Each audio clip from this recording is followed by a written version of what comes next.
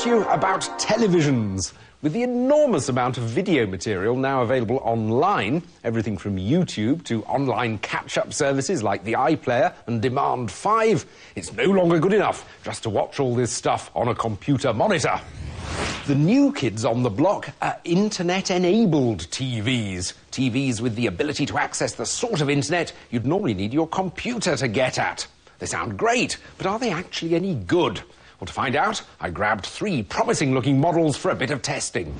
To help me with the testing, I asked along star of Red Dwarf and general all round tech head Robert Llewellyn. The internet enabled TVs I'd chosen are all HD and have Freeview built in.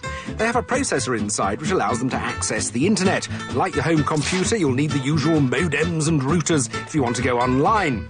They all have to be hardwired as they don't have wireless built in. Bit of an issue if you're not a fan of cable spaghetti around your home.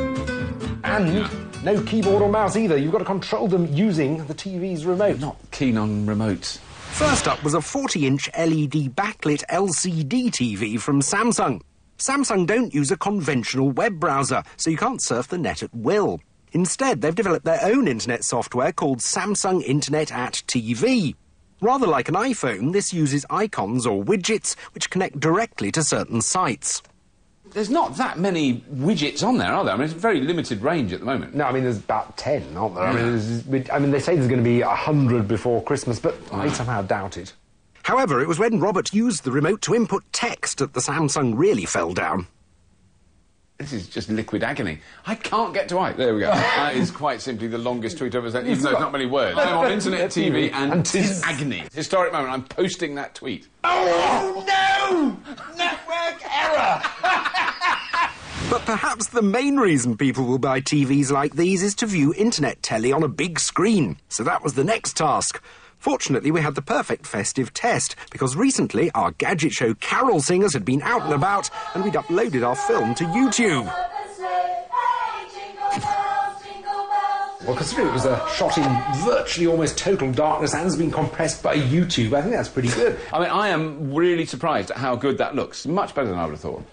So, internet viewing, very capable. Before we move on, we should just check its performance as an actual TV with TV TV. A proper telly. Yeah. Yeah. That's pretty good. That's But it looks like it looks like a very good good, good quality television. Our second internet-enabled TV was a Panasonic Plasma.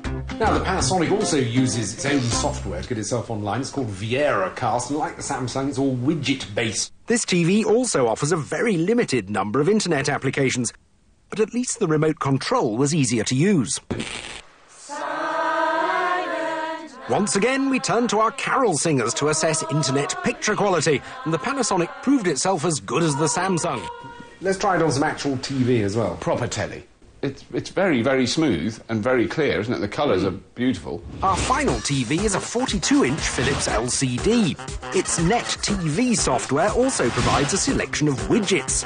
However, the Philips offers one significant bonus. It has a web browser, which does a reasonable job of displaying most websites like you'd actually see them on a computer. You've got far more access than either of the other TVs, Yeah. haven't you? Yeah. So that is better. Well, that's quite impressive. I like that.